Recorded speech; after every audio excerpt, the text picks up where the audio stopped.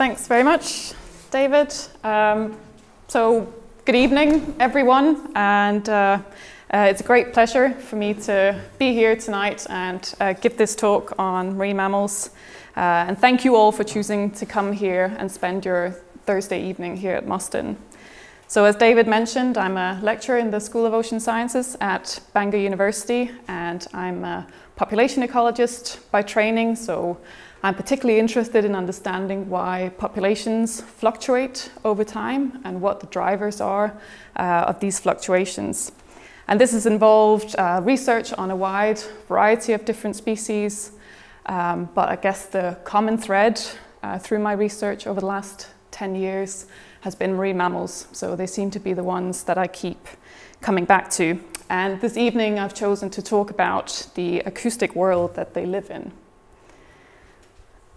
Um, so I want to start off by, if we can all imagine what it's like when we go snorkeling or diving, uh, the sensory modality that we depend most on, which is vision, uh, underwater this becomes very restrictive and we really can't see very far at all. Maybe a meter to 100 meters depending on the clarity of the water. In contrast, uh, sound travels very well underwater uh, and that's uh, because sound travels about five times faster underwater than it does in air. So in air, the speed of sound is about 340 meters per second, but underwater, uh, it's 1500 meters per second. So sound can cover vast distances in the oceans, easily uh, tens to hundreds of kilometers, um, uh, depending on the properties of that sound. So hearing rather than vision is really the, the optimal sensory modality underwater. Um, but we're a very visual species as humans, so it's quite difficult for us to fully understand how these aquatic species uh, live and communicate. And it's made even harder by the fact that you'll probably have noticed if you're snorkeling or diving that we don't hear very well underwater either. Uh, so sounds become very muffled. We have very poor sensitivity. And we've also got very poor directional hearing, and that's because um, our auditory organs uh, are still connected to the skull uh, to some extent. So uh, sound, um, the direction of sounds uh, um, also become quite muffled because of uh, bone conductivity. And other species that are more adapted to this environment have auditory organs that are isolated from the skull. Uh, so they have very highly specialized and directional hearing. So just to uh, illustrate, that's very bright all of a sudden, um, the potential for sound travel underwater.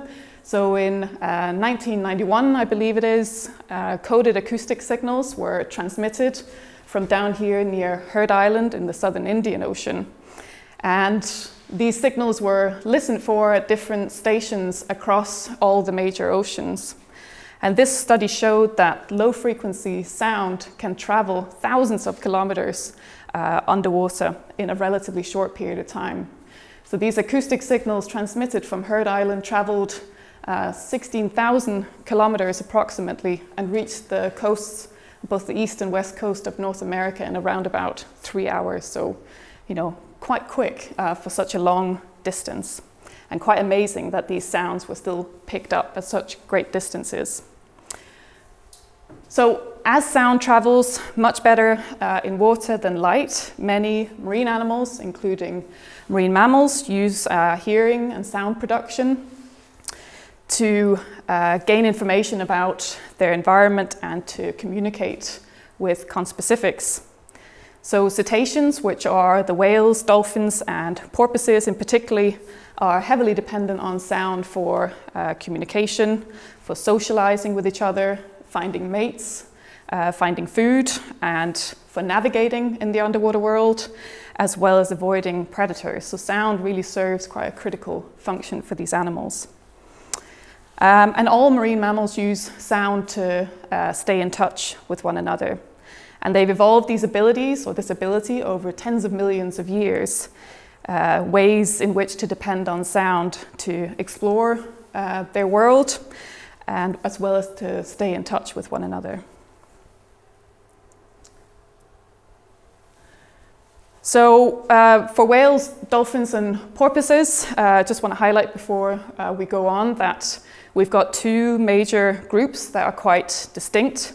So we've got the, uh, the uh, whales and dolphins that have teeth. So these are the ones on the left-hand side of the screen for you, uh, including the killer whale, which is the largest of the dolphin, uh, the sperm whale, which is the largest toothed whale, as well as all species of dolphins and porpoises.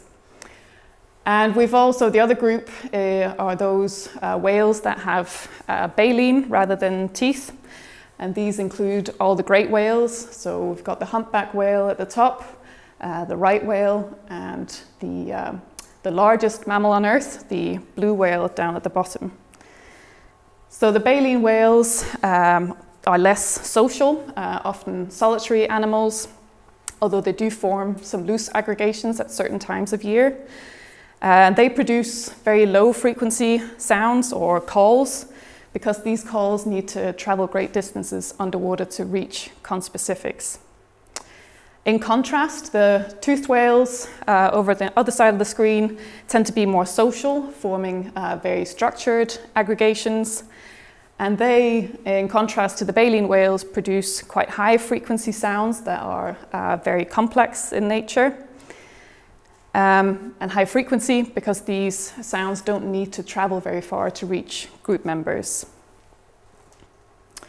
So for the next few slides, I'm going to talk about or touch on a few of the toothed whales that live in quite intriguing uh, social societies and how sound plays uh, quite a key role in their day-to-day -day lives for both coordinating group behavior uh, and for communicating with one another. So communication with conspecifics uh, forms a key aspect of um, the lives of these very social species. So the first one I want to flag up is uh, bottlenose dolphins. It's probably the most or one of the most iconic of the marine mammals. And they live in probably the most complex societies as well, containing quite uh, intricate and shifting social relationships. And these are referred to as fission fusion societies. So individuals will associate with one another in small groups, but these groups change in composition on a regular basis, so uh, on a daily basis or even sometimes an hourly basis, depending on who's available. And there's great parallels between uh, these and fusion societies of dolphins, bottlenose dolphins, and those of chimpanzees. So I know we, for us humans, the family is probably the most important to us. But if we leave the family out of it and then think of our network of friends, there's probably some friends that we like more than others. There's probably also some that we like to uh, spend time with under certain uh, situations rather than others.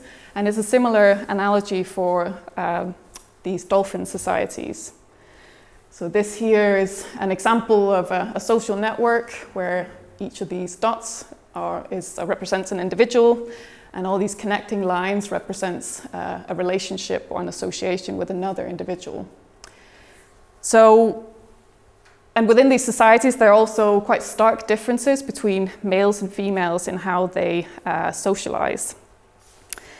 Some females tend to be highly social, so we've got this individual here and that individual there, uh, which are highly social. They've got a lot of uh, connecting lines, so quite a broad uh, social network compared to others, uh, like this animal here and this animal, which associate, associate themselves with relatively few individuals. Uh, and the composition of these associations between, between females are also highly variable. On the other hand, males uh, form alliances with other males, and they do this in order to consort females. And these bonds in males can be extremely strong and much more stable than those of females.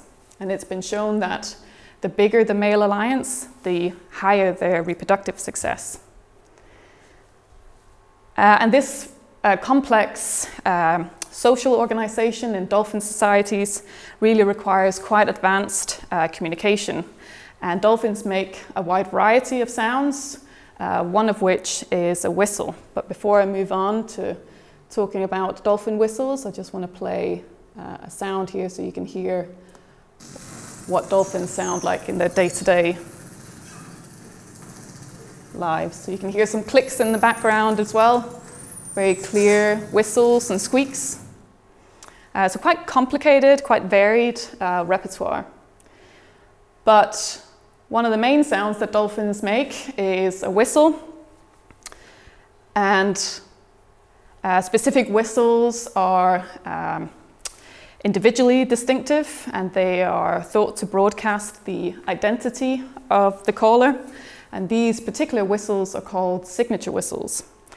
And they're quite harmonic uh, in their sounds. So we can listen to an example here of a signature whistle. So some upsweeps, very clear upsweeps in that signature whistle. There are other animals that have signature, individually distinctive signature calls. One is the rhesus monkey uh, on the right-hand side of this figure. And these are examples of rhesus uh, monkey uh, individual calls. And as you can see here, uh, these are different individuals. Uh, they're quite similar between individuals and they're also quite simple in, or relatively simple in the structure. Particularly when you compare it to the signature whistles of bottlenose dolphins, there's a lot of variation between individuals uh, and the calls themselves also quite complex. Um, so if we think about uh, a signature whistle, it's sort of the same thing as if we were to repeat our name over and over and over again. Uh, and sometimes they also copy uh, their mates within the group. So if we sometimes copied the name of our friend sitting on the other side of the room, for us that would become quite annoying uh, quite quickly because we can also see each other. So there's no need for it really. But in the underwater world, it's a, a very useful way of staying in touch with one another. And uh, individual calves develop their signature whistles within the first three months of their lives. Uh, and it's thought that they model their whistles based on another group member and then modify it to come up with their own unique uh, sound. So they don't necessarily, interestingly, model it after their mothers, although when they do, it tends to be male calves that do so rather than females. Uh, so this study here showed the uh, importance of signature whistles to mothers and calves of bottlenose dolphins. So you can see when the mother and calf were in close proximity of less than 20 meters, they, uh, they um, used these signature whistles about 40% of the time compared to when the mother and calf were separated by more than 100 meters, they used these signature whistles all of the time, so 100% of the time. I just want to uh, highlight this is a little bit of an aside, but I find it quite intriguing. Uh, so very few non-human animals can imitate sound, um, although it is thought to be quite widespread in birds. It's relatively uh, rare in mammals. Uh, so it's a very rare ability to be able to change what you say based on what you hear. But we have a few examples of marine mammals being able to mimic the sounds of other species. I think this example here, um, there was uh, bottlenose dolphins again in captivity that were shown to be able to mimic the sound of the trainer's whistle. So this here is an example of uh, what the trainer's uh, whistle would sound like, so quite a flat tone, so toot. Um, and dolphins uh, in the center were shown to be able to mimic that sound of the trainer's whistle. So you can see those quite flat tones in the uh, dolphin's whistle. We've got other examples of well, as well of uh, killer whales being able to mimic the barks of uh, sea lions. And I think the, the most intriguing example is that of beluga whales or white whales. Uh, they've been shown to be able to mimic human speech.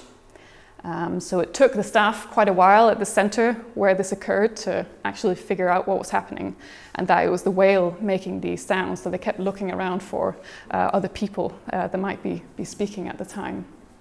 So quite incredible abilities, and these are some of the examples of the highest forms of social learning.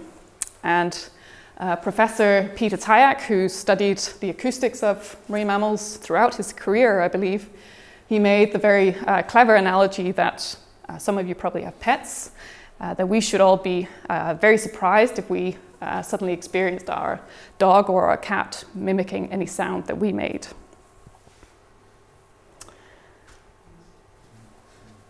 So uh, next, I want to talk a little bit about uh, killer whales, which also live in quite intriguing uh, social societies. Killer whales, rather than fission fusion societies, live in very stable uh, matrilineal units. Uh, so that means they live in units that consist of um, females and their offspring and their offspring's offspring. And within these matrilineal pods, uh, each pod has its own unique, culturally uh, transmitted vocal dialect. So this repetitious call that's shared by all pod members. And this call is um, transferred to between generations. And the calls also uh, persist unchanged for decades. So they're indicators of pod affiliation and they're used in close range communication. And these pods form uh, parts of um, a hierarchical social structure in which pods that share parts of calls uh, are grouped into what's called vocal clans. And uh, clans remain distinctive from each other um, despite uh, overlapping in geographic uh, ranges as well as uh, regularly coming into contact with one another. So on the right here, you've got different pods from A1 to D, and all these pods share uh, some part of their uh, these repetitious calls. So you've got the similarity of their calls here at the bottom. So C and D here, these pods are very similar in the calls that they make. And these pods are part of the clan A, but as you can see, there's absolutely no overlap or linkage between the, the calls of clan A and those of clan G, for example. Um, and there's an ongoing debate um, about the existence and nature uh, of culture in non-humans uh, and culture being defined as group level information or behavior that's transmitted uh, by social learning.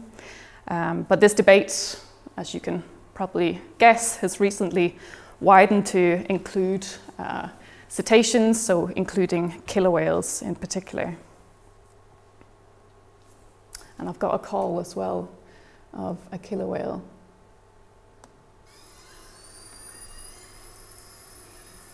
Again, a lot of whistles, clicks, but very different to the bottlenose dolphins.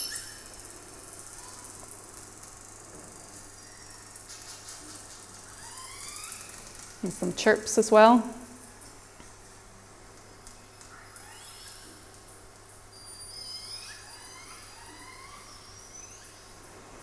Quite intriguing sounds, and again, quite distinctive uh, from those of uh, the bottlenose.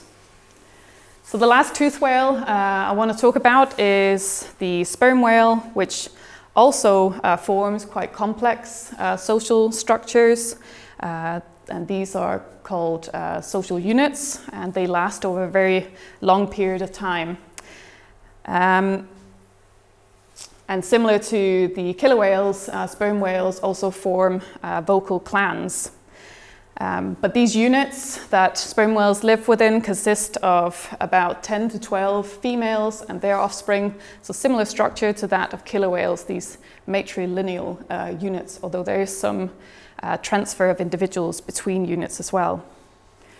But instead of uh, those more intriguing sounds used by uh, dolphins and killer whales, sperm whales uh, just depend on clicks. So they use clicks both for foraging but also for communication. So they can change the rhythmic patterns of these clicks to come up with individual identity codas, they're called. And this is what a click of a sperm whale sounds like. So quite simple sound, but again, uh, they can um, construct quite rhythmic patterns uh, of different numbers of clicks over a varied uh, length of time. So again, it allows pod members to stay in touch with one another over long distances, particularly when foraging. So sperm whales is one of the deepest diving marine mammals. They can dive down to uh, often about a kilometer uh, depth, and dives can easily last up to or over an hour in duration. Uh, so you can imagine once you've been down at depth, it's very dark. Uh, it's difficult to keep track of group members, so they use these individual identity codas to keep track of where everyone is. And sperm whales are even more intriguing in that they've been shown to take considerable risk to uh, protect and defend group members when they've been under predatory attack from killer whales. And they also show allomaternal care. Um, of calves within the group. So that means females will protect and look after calves of other females while they're down foraging. So calves don't have the diving abilities of the adults, so they have to stay at the surface, which is very risky, so they're very vulnerable there to attacks of killer whales. But they show this uh, cooperative care.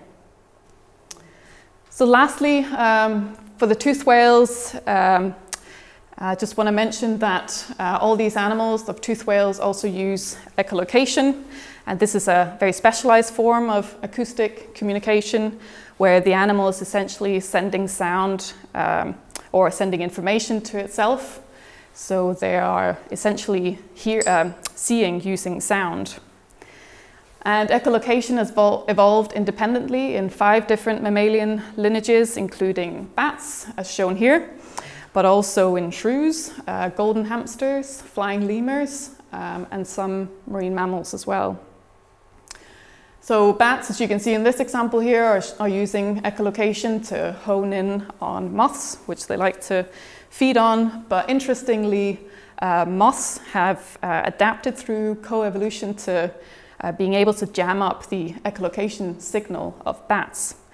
So in response to these sonar-guided attacking bats, some tiger moths can produce their own uh, ultrasonic clicks which jam up the signal of the bat. So a very clever uh, system.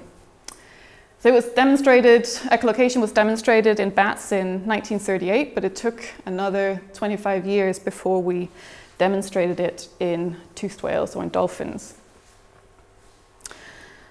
Um, so dolphins and toothed whales use uh, echolocation. Um, they produce very loud clicks and then they listen uh, for the echoes uh, either from the seafloor in order to orient themselves or from prey such as fish in order to figure out where food is. And how does it work? Uh, when the dolphin is at the surface, it takes a deep breath and then the blowhole up there at the top of the head uh, shuts tightly. And air is then moved uh, through the nasal passages down to the lungs. And the engine that drives sound production in these animals is the larynx.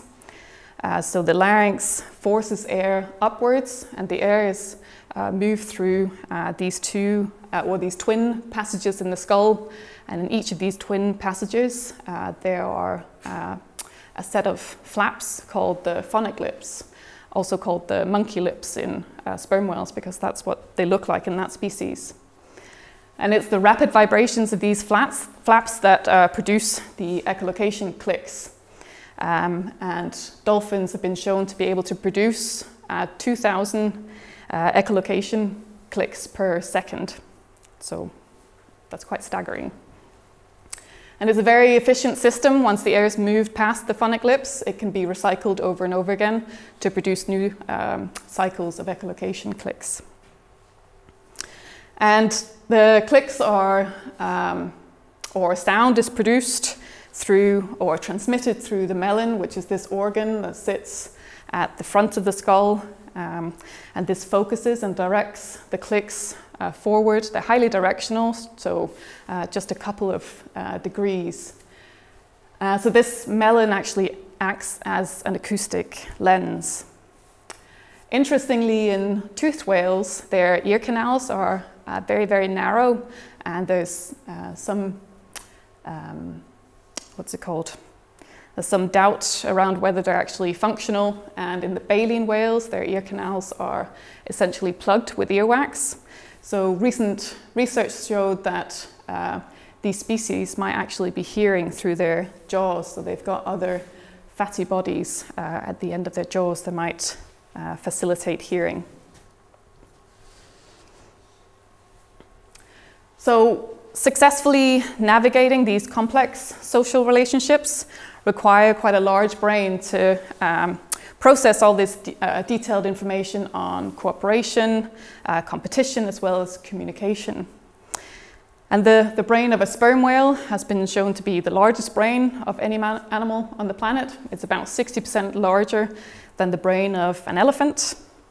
And furthermore, the brains of toothed whales and dolphins are significantly larger than any of those of any other uh, non or any uh, non-human primates. And they're really second only to uh, human brains when they're measured with respect to body size as well. And there have been three peaks of um, brain size evolution in mammals, so including toothed whales, humans, as well as elephants. And uh, all of these have one thing in common, which is the uh, extreme mutual dependence based on uh, predatory threats, as well as living within uh, these social groups. And it really has been quite an evolutionary puzzle um, why some animals have evolved quite large brains because they are so energetically expensive. So the benefits of having a large brain needs to outweigh the costs. So the human brain is about 2% of our body weight, but it takes up about 20% of our uh, energy. So moving on to um, sounds made by uh, baleen whales, so these are quite different. And first, they want to talk about the songs of humpback whales. These are most, uh, probably the most impressive of the baleen whales. And these can be slightly higher frequency because humpback whales gather uh, in breeding grounds during the winter. So there's no need for that long distance propagation, these low frequency sounds produced by other baleen whales. Let's listen to a humpback whale song.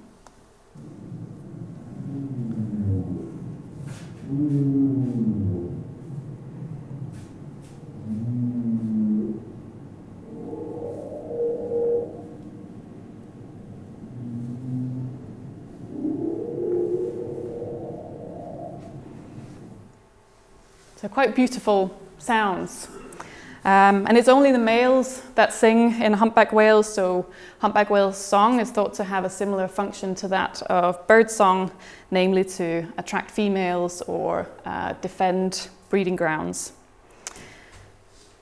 Uh, and male songs are very long and complex. Um, they, and they're shared at any point in time, they're shared by uh, all members in the population, so all members always sing the same song, which is slightly different to that of bird song, I believe, where uh, males may sing their own individual songs to impress females.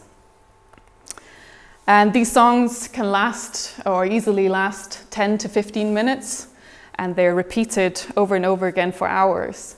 Um, so again, I find it quite difficult just to remember the lyrics of a song on the radio, which maybe last uh, three to four minutes. But these whales are able to repeat these songs of 15 minutes without making any mistakes. And songs are composed of uh, themes, and within themes, there are phrases, and within phrases, uh, there are subphrases. That's not the clearest uh, picture there. And the structure of this song uh, changes over time, mostly during the winter when the whales are singing so uh, they see, uh, we see changes in the frequency and duration of individual units within the song. Whales will delete certain uh, themes or phrases and then insert uh, new phrases. So by the end of a, a breeding season, uh, the song can be uh, substantially modified, but um, it's believed that it typically takes up to 15 years before a humpback whale song has changed completely within a population. However, uh, there was a quite a neat study done of Australian humpback whales. So uh, between 1996 and 98, scientists in Australia observed a cultural revolution in humpback whale song. So around Australia, there are two populations, an East Coast and a West Coast population, and each sing their own individual song. But in 96, uh, a couple of individuals from the West Coast population invaded the breeding grounds of the East Coast population. And within just two years, uh, the East Coast song was changed completely, and all individuals were singing this cool new West Coast tune. um, So, and the speed at which this happens suggests that uh, novelty really drives change in humpback whale song. So you can probably imagine getting quite tired of singing the same old song over and over and over again. Um, other baleen whales also make uh, quite intriguing sounds. So the largest mammals on Earth, the blue whale and the, the fin whale, produce very low frequency vocalizations, and these are the most powerful and ubiquitous biological sounds in our oceans. And these long and patterned vocal sequences of fin whales, for example, can reach intensities of about um, 185 decibels. So that's similar in loudness to a rock concert, for example. And these um, mammals need to call uh, long distances when it comes to attracting females because they don't aggregate in breeding grounds like the humpback whale.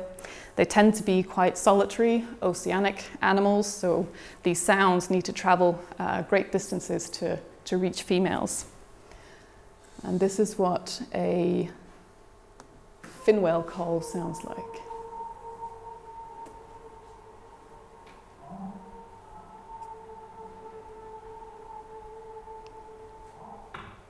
So not as complex as that of the calls of the humpback whales. So before we move on to the last part of the talk, um, which is about how um, us humans are having an impact on the acoustic world of marine mammals, I just want to make the point that our oceans are by no means silent. So if we take us out of the equation, there's still plenty of uh, noise in our oceans. So this idea of a silent ocean is really uh, a myth.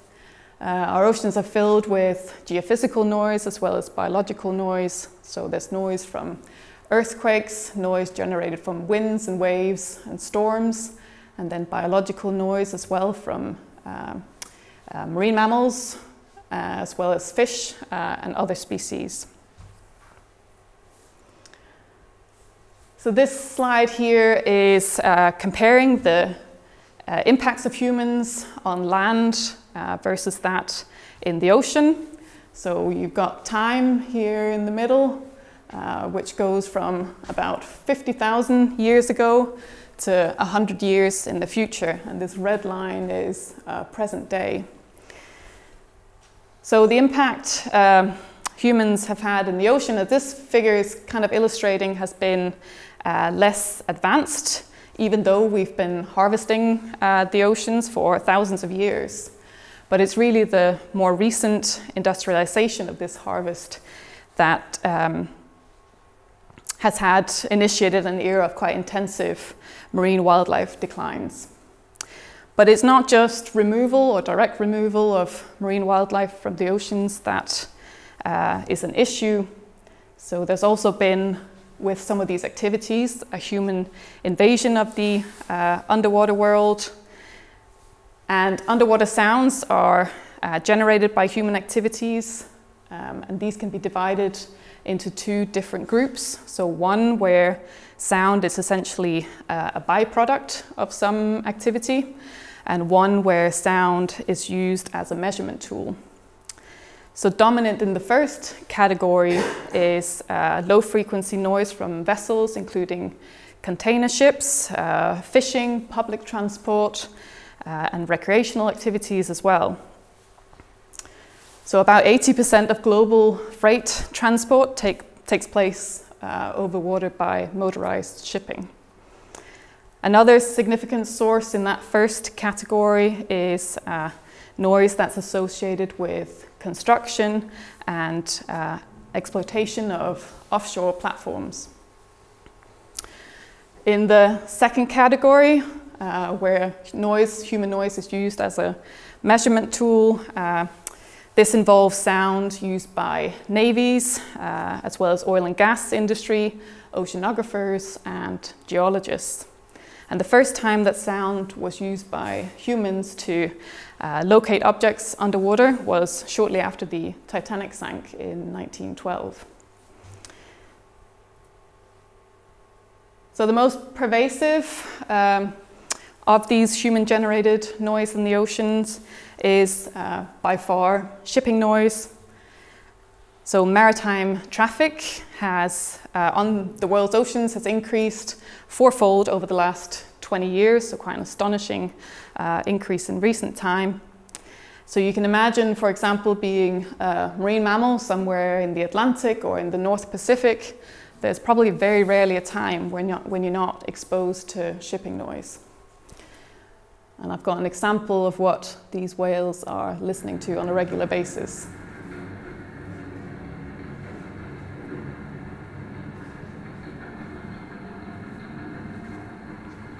So quite a pervasive uh, background noise, and I'm having to shout already um, to be heard over it. So this, these figures here are uh, just illustrating the increase in numbers of vessels uh, on the um, world's oceans since the 1950s, so quite a significant increase of large vessels, also a significant increase in the gross tonnage of these vessels. And as a result of that, we're also seeing increased sound levels in our oceans. These figures are from the North Pacific, uh, where there's been about a 10 decibel increase over the last approximately 30 years. So what's the problem? What's the, the big deal? You know, what's all the, the fuss about uh, with human noise in the oceans? Um, well, the noise produced by uh, human activities overlaps greatly with that of uh, many marine animals, including fish and marine mammals. For, and so here you can see uh, the frequency of, of human noise and how that overlaps with uh, many of these other animals. For marine mammals, uh, as this figure suggests, uh, one of the biggest issues is probably with baleen whales, where there's a great overlap uh, in human noise and, and the hearing range of, of baleen whales. Uh, odontocetes or tooth whales tend to produce higher frequency sounds that um, go above the frequency of these human generated noise. Oh, and the uh, ways in which the human noise is impacting marine mammal populations is through uh, changes in behavior. Uh, we see displacement from important foraging areas, uh, often these important foraging areas is also where offshore developments are taking place. Uh, we've seen direct injury as well as hearing loss, which can be permanent or temporary. And you can probably imagine that any hearing loss is going to be quite detrimental to these animals that rely on sound so heavily. And also masking of uh, sounds is, is quite an issue, which I'll talk about in a bit. So there are several studies that have reported uh, behavioral change in whales and dolphins in the proximity of boats um, or other human activities. And the typical observations that we see is a decrease in distance between individuals within a group, uh, an increase in speed, a change in direction away from the noise. Uh, and the example here also a decrease in the probability that these animals are going to be foraging.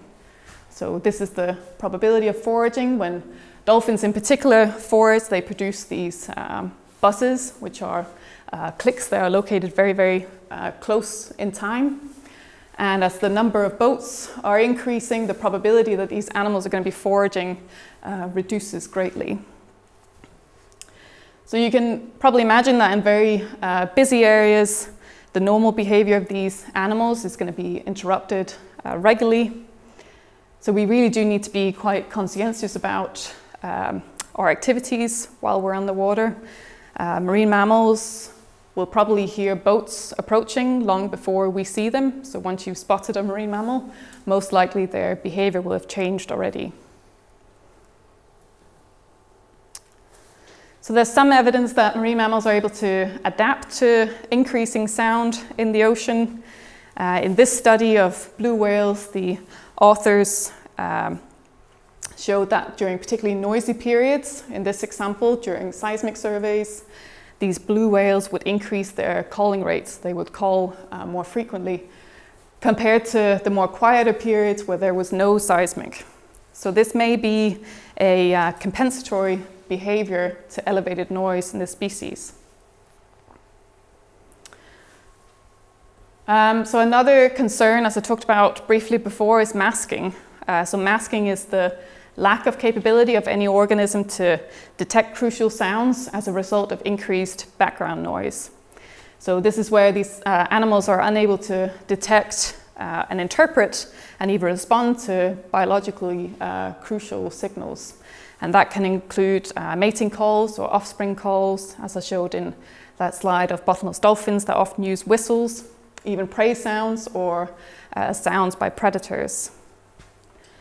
So given the significant overlap between sounds generated by human activities and hearing ranges of marine mammals, uh, the concern is that there's quite great potential for uh, masking and reducing the communication space of these species.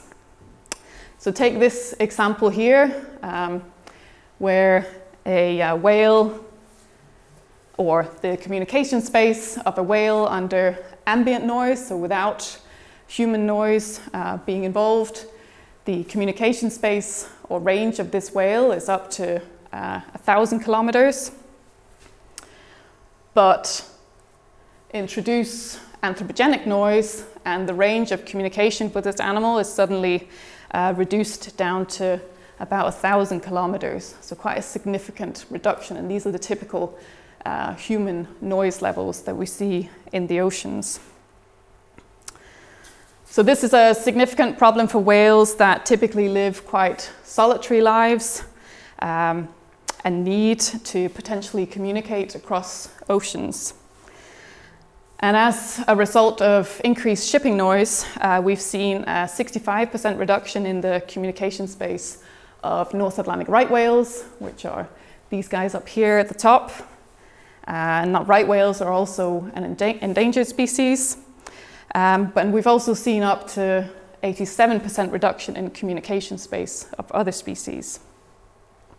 So this likely has uh, impacts on their populations if they're not able to find mates. And this problem is kind of enhanced by um, the um, great levels of, of, whaling that have taken place. So in about 100 years, industrial whaling vessels uh, killed nearly 2.9 million whales of a variety of different species. Most were uh, fin whales and sperm whales, but uh, blue whales, sei whale, and humpback and minke whales were also taken in their thousands. And by some estimates, sperm whales may have been driven down to about one third of their initial population size. Blue whales may have been depleted uh, by up to 90%. So quite significant declines in these populations. There's some evidence that some populations are recovering, such as the minke whale, um, but others, including the North Atlantic right whale and the Antarctic blue whale, probably now hover on the brink of extinction um, as a result of industrial whaling. So the point I want to make is that for these uh, species that are quite solitary anyway, uh, now that their populations are so greatly reduced, if we include uh, human generated noise and reducing their communication space, this is likely to have wider reaching impacts on their populations if they can't find mates in order to reproduce and sustain or even recover some of these populations. Uh, so some species have shown the ability to be able to adapt to living in an increasingly noisy environment. Uh, so some small songbirds have shown the ability to increase the frequency of their calls in noisy urban environments. So they've simply shifted the frequency of their uh, calls outside of the noise band in order to uh, be able to better communicate. And that's what this a figure up here is showing, I can't reach it, um, but you can see F-min, which is the minimum frequency of the call in uh, non-noisy uh, periods. The middle bit here is an illustration of uh, urban noise. And during busy periods, that minimum frequency is shifted upwards and out of that noise band. So as I mentioned before, song um, in uh, some baleen whales serve a similar function to that of birdsong. And uh, that's namely to attract or attract mates or repel uh, competitors. And in populations of right whales, we've also seen the ability of these whales to increase the frequency of their calls to probably better uh, be, uh, be heard. So in this study, they compared the starting frequency of calls from the 1970s and 1950s to that of uh, 2000, and there was a significant shift upwards in the starting frequency of these calls. Also, quite a significant uh, difference between the North Atlantic right whale and the southern right whale, indicating that these animals may be living in uh, noisier environments. So this shift in frequency may help maintain the communication range uh, of this species during periods of increased noise. Um, this is quite a concern for North Atlantic right whale. They're down to about 430 individuals, uh, of which about 100 are estimated to be uh, breeding females. And this is an example of a right whale call. It's quite short, we'll play that again.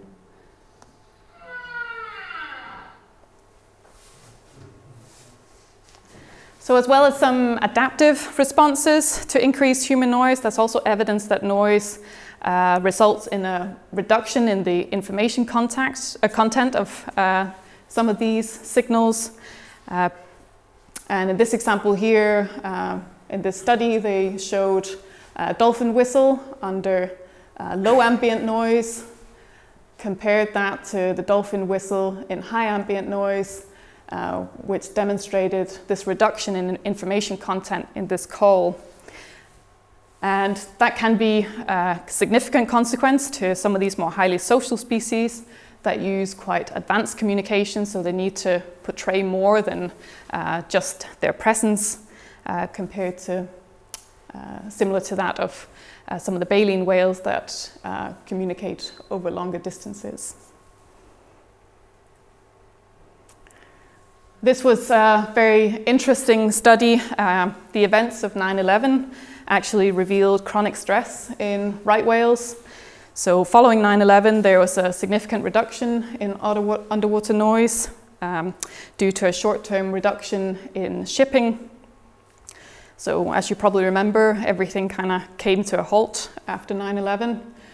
And uh, feces collected from right whales during this quieter period were compared to hormones collected in feces uh, during the following normal years, where shipping levels were back up to normal. And this revealed significant uh, reduction in stress hormones during these quieter periods following uh, 9 11. So you may also ask yourself, how do you go out and find whale poo? But that's a different story. Uh, so this was the first evidence uh, that exposure to low frequency shipping noise may be associated with chronic stress in these whales. And it has implications for all baleen whales that live in uh, very busy areas, as well as for the recovery uh, of this endangered right whale population. So these whales are calling more often, they're calling louder, and now we also see evidence of stress in some of these species. So you might compare that to sitting in a, a, noisy restaurant one evening, having to raise your voice in order to be able to have a conversation, except these whales are having to do that all the time pretty much. Uh, in humans, we've also started to document the impacts of uh, noise pollution on our health. So that can be both mental as well as uh, physical, and it's also been shown to disrupt learning in children. So both road noise and aircraft noise has been shown to increase the risk of high blood pressure and heart attacks in humans. So it's probably no wonder that we're seeing some of these similar uh, stress symptoms in these whales. And there are also cases where uh, human noise has caused direct injury on marine mammals, so mid-frequency active uh, sonar used by Navy vessels uh, are likely causing some species to cover uh, similar symptoms to that of decompression sickness in humans. So beaked whales in particular have been shown to repeatedly strand um, a few hours or days after naval exercises where military ships have used uh, mid-frequency active sonar. And consistently in all these uh, stranded animals, they showed the same kind of symptom, symptoms uh, similar to that of decompression sickness, so quite extensive internal injuries. And the beaked whale is also, interestingly, one of the deepest diving, or the deepest diving marine mammals. They easily dive down to nearly two kilometers depth. So there are great concerns already for marine mammals, um, particularly uh, when it comes to whales and dolphins. So this figure here is illustrating that uh, over here you've got the percentage of species. So for cetaceans, which is this bar here, most cetaceans in this, well, not most cetaceans, but uh, this red part of the bar here is showing that this is the percentage of species that are endangered. And this little yellow bit here is the percentage that are extinct. But I think much more worryingly, most of this uh, bar for cetaceans is gray, which means these species are data deficient. So there's still uh, quite basic or crucial data that we're missing uh, for some of these species, such as just their uh, population size and let alone uh, having an understanding of what impacts our activities have on them. So just to finish, uh, finish up, I wanted to highlight this uh, new, quite exciting study that just came out uh, this year, where they analyzed uh, stress hormones in earwax of baleen whales. So as I mentioned before, these, the ear canals of baleen whales are essentially plugged with earwax that looks something like that. Uh, and earwax contains growth layers, so similar to what we see in the uh, growth rings in trees. So you can use earwax of these growth layers in earwax to estimate how old the animal is. And if you know how old the whale was when it died, you can then backtrack and look at stress levels over the entire lifetime of this animal and when that stress occurred. Uh, so this study found very high correlations between uh, stress, which is this black line in whales, so going back in time, back to the, even back to the 1870s, and they correlated that with uh, the number of whales that were taken by industrial whaling. And you can see easily that these two lines, the blue and the black line, are following a very similar pattern. So it's now been shown that during industrial whaling, stress in these animals uh, was elevated. And you can also see very clear dips. So during World War II, uh, when whaling uh, was quite heavily reduced, we also see a reduction in stress in these animals. Um, in 1972 is when the Marine Mammal Protection Act was uh, implemented in the US. And again, because of that, see quite a dip in numbers of uh, whales taken by uh, whaling ships, as well as a uh, quite steep decline in stress levels as well. So what does this have to do with sound at all? Well, um, I think it would now be possible to also use these earplugs and look at these stress hormones uh, to try and understand more longer term pot potential stress in these animals uh, as human noise continues to increase in the oceans. Uh, so there's still, just to finish off, this is the last slide. Uh, there's still so much we don't know uh, about these animals and about how they interact with their environment. Uh, for several species, we lack the most basic data, which is simply, or as you may call, simply a population estimate. Um, the species we have the best uh, estimates for, at least for the, for the large whales, are those that were particularly depleted during industrial whaling uh, but we still also have very poor understanding uh, of their hearing thresholds and when human noise becomes an issue. A lot of the information we've gathered is from uh, captive animals, uh, and obviously these involves, uh, involve um, most of the, the smaller dolphins and porpoises, maybe in some cases as well, not really feasible for, for the bigger whales. And another important, point to make um, here at the end is that sound doesn't obey barriers. So we may establish protected areas for these species, uh, but sound is not going to obey these barriers, similar to that of pollutants in the oceans. So uh, these are still going to encroach. So I think it's crucial that we continue to protect the acoustics of our oceans in order to conserve uh, and manage some of these uh, marine mammal populations. And with that, I'd like to thank you all for coming uh, and thank you all for listening to this talk.